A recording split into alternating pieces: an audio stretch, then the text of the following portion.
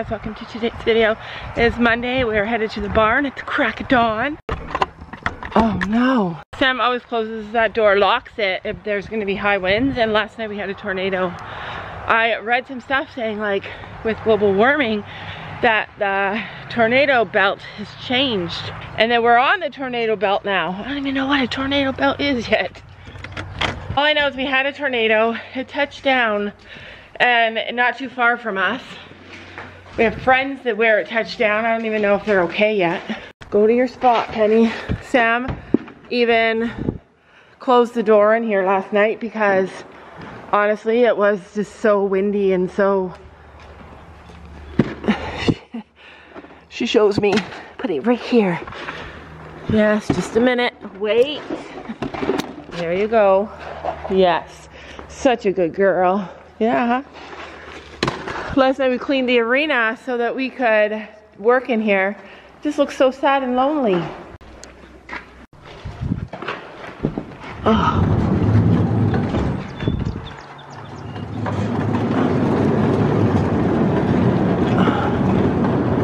There you go, sweet girls. You have some sun now, some light. It's been crazy with the tornadoes. Like, absolutely shocking. We've never had tornadoes before. Like, honestly, I don't even know if we've ever had a tornado in my lifetime. Some years, we don't get a lot of rain, and so the grass dies, and then by the middle of July, we end up not needing to cut our grass. Last year and this year, both, we've had a lot of rain. It's almost August and we still have so much grass. So you guys know Chino had an abscess. It's starting to pop now not a big deal. It always takes him like a good week from beginning to back to normal. And he's right in that time frame. It was just a tiny little abscess. He always gets, whenever he gets them, he gets teeny tiny ones. He's never been an abscess boy uh, before, but now with the mud and the wet, he's prone to them if he if he's not in the he's prone to them if he's in, if it rains and if it, there's mud. So I'm going to talk to our farrier today and see what they can do, what he can do to help prevent them from now on. Ideally, we could leave them in and do like indoor board, but our barn doesn't have indoor board, so. So that's what we're dealing with. That's what we're battling. We're rushing to the barn right now to meet our farrier, and Gabby had to get up and get dressed. We all had to get up and get dressed, throw our clothes on, throw the horses out, throw the dogs out. Everybody's out super fast. It's nice because living on a farm, the dogs get to run down to the barn and back again every day. So even like on a show day when we have little time in the morning, then they still are able to get their little run in. Let's go to the barn and check on our boys. You know what makes me so sad though? Like so sad. Chino's doing a lot better. What makes me so sad is that Chino, like I could cry over this. Chino and Finn, Gray Finn, are best friends. They loved each other, are best friends. Like best friends. They got separated from one another in the field because we tried to put Chance with them and they beat him up. So in order to try and keep Chance with them, we separated them. And every single time Chino comes walking along that path, if you watch Finn, he's right there staring at him. And then every time Chino leaves the barn, he looks over to see his friend. Like, it's just sad. It's sad because, it's sad because, Gabby, you gotta give him a brush. It is sad because nobody ever really thinks about like horses and their relationships and their connections. Like, we just want them to be connected to us. But they, you know, even like when we sold Finn, he went away from his friends I don't think that Finn was like totally, well, Finn and Chino were close. Finn and Chino were close, but Chino and and Gray Finn, for some reason, they just were like this. So what's weird about Chino's foot is that it's not even like the bottom of his foot. Like being in mud is not that big of a deal. But because it's wet, he gets these little tiny cracks up his heel bulb that we treat for, but then I stop treating for it when it's dry because it's not good to like be putting all this stuff on there to dry out his feet when it's dry. So anyways, I stopped treating him for that. Like I stopped treating it, everything was great because it was so dry and then we had these big rains like two in a row and then it got all wet again and then he got those little cracks again and bacteria gets in there. It hurts, huh? so we're just doing a little walk on him.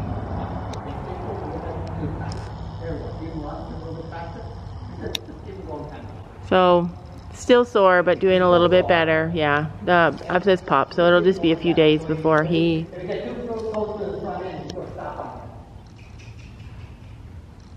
So hand walk a little bit each day, right?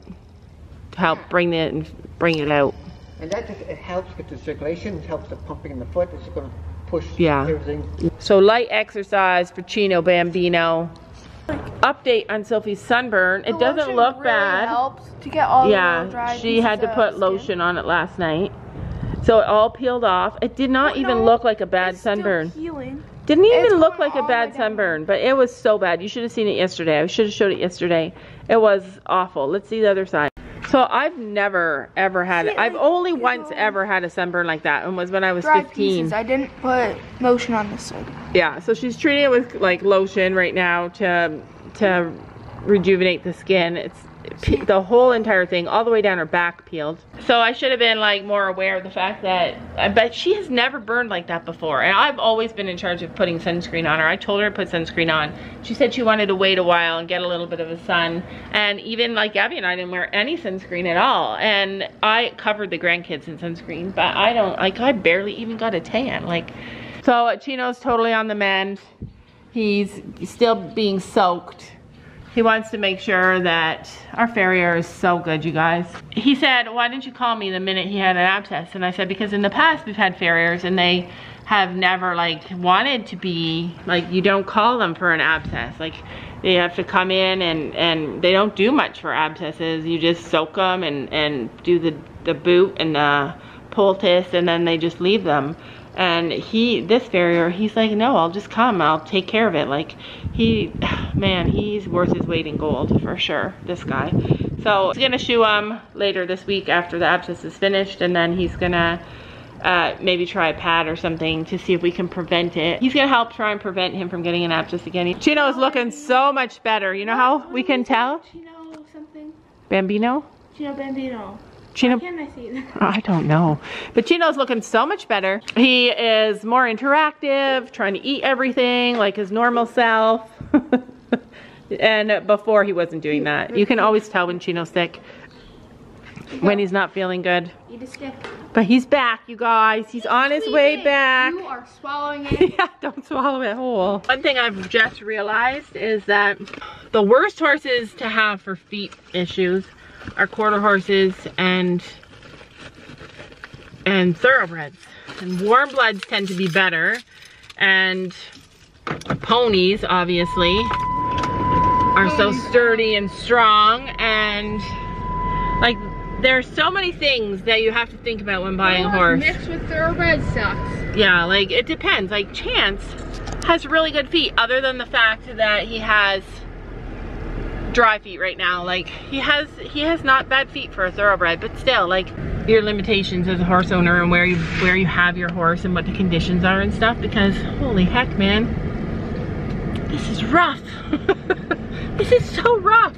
When we bought when we bought our quarter horses and when we bought our appendix, we bought them and knowing that they're like really good uh, family friendly horses. We didn't even think about their feet. Anytime I get an egg that has a crack in it, I just feed it back to the chickens. I said hi chickens, and then Chitlin came from in the little hut thing, and he jumped and flew to the gate. Yeah. He's like, I'm here. As soon as we come out now, they're like, I'm getting out of this coop.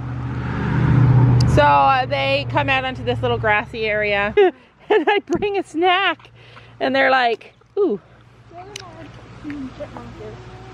Eggs are really good for chickens and I even like will scramble some or cook some. I give them hard boiled eggs sometimes. That's my favorite little chicken right there. Isn't she adorable? Actually, Sophie's chicken is now my favorite little chicken. I love this chicken. Ray Fraser was going to eat. Lighter. Yeah, that's why I said.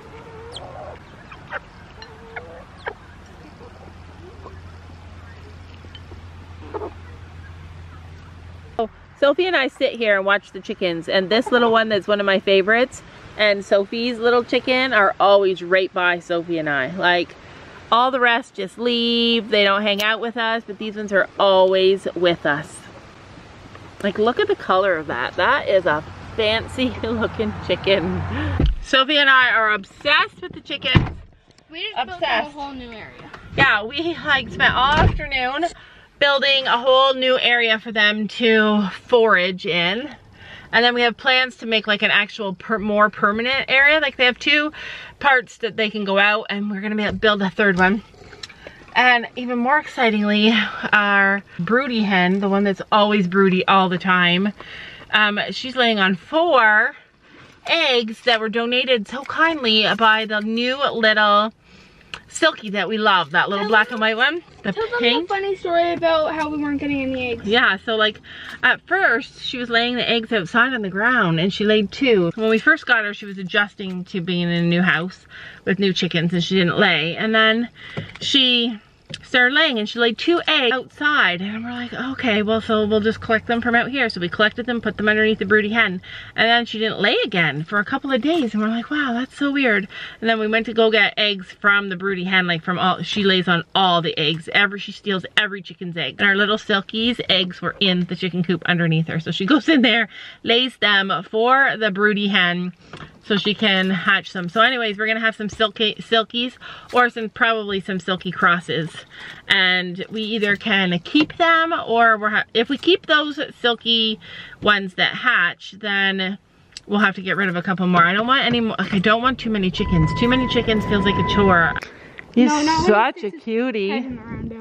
So a while ago, he had some scratches from some tree branches, and those all healed up. I was worried there for a second that his heart wouldn't be intact. Sophie doesn't see a heart. Imagine if he just cut down down the middle of it. Yeah. And then it turned to be chestnut hair growing back. All right, It so would be like a listen. broken heart. I would spray his belly with bug spray because he's really feeling the bugs. He does not like the bugs. We'll see who Gabby is riding. Chino's doing better. Uh, we brought him in again. Our farrier wants us to soak him uh, often because until all the You can stuff drains out. And then we got Chino, and then Gabby's ride of the day is another chestnut.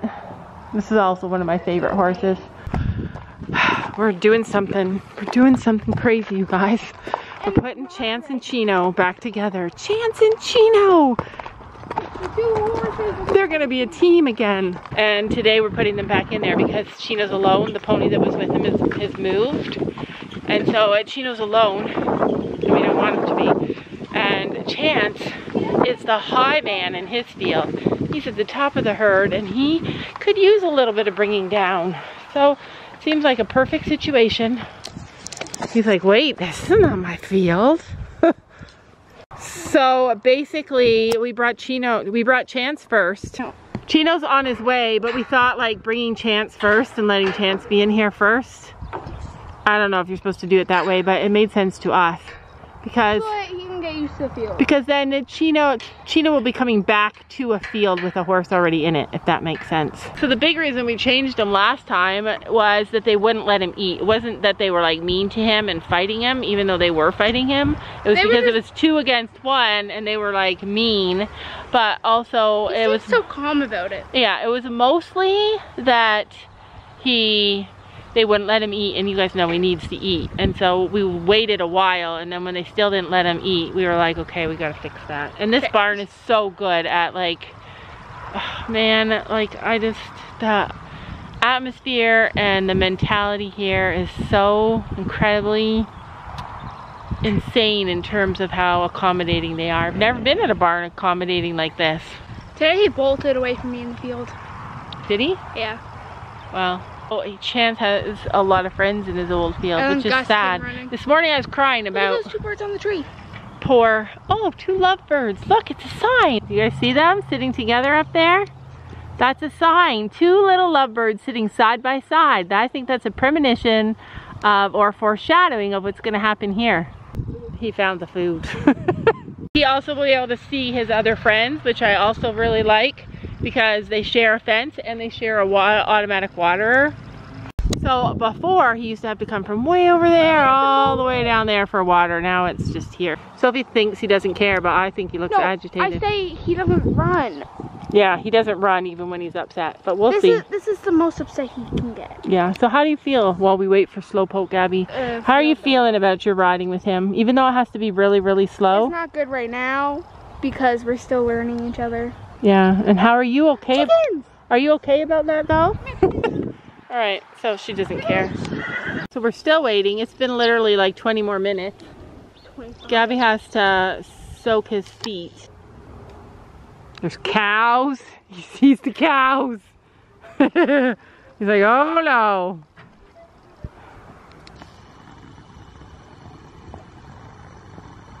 He's going to see if the cows know. He, he recognizes that spot. Yeah, he knows there, there's the water. See, he's having a drink. There's only one of you, only one of me. There's a million of those who won't let us be.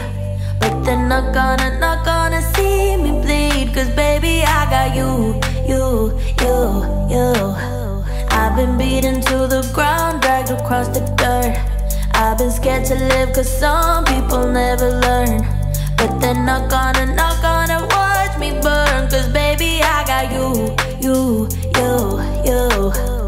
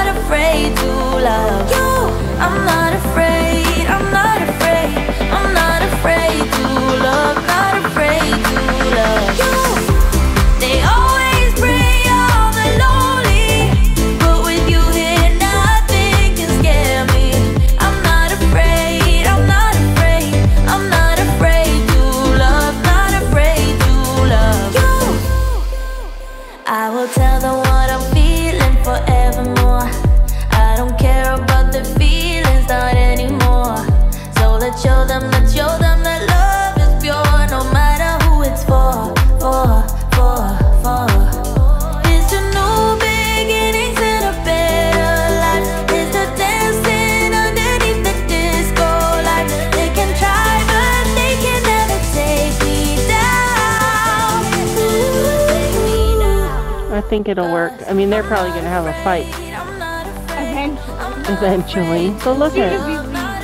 Yeah. So who do you think? Let's call it now. Who's going to be the boss?